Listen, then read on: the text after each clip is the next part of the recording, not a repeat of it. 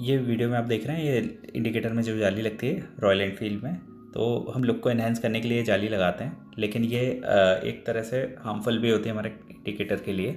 ये हमारे इंडिकेटर के होल्डर को ब्रेक कर देती है। उसका सबसे बड़ा कारण होता है ये जो स्क्रू हम अलग से हमें लगाने पड़ते हैं। तो ये स्क्रू पूरा हमारे जो जहाँ पे कसता है पूरे उसके होल्डर को डैमेज कर देता है।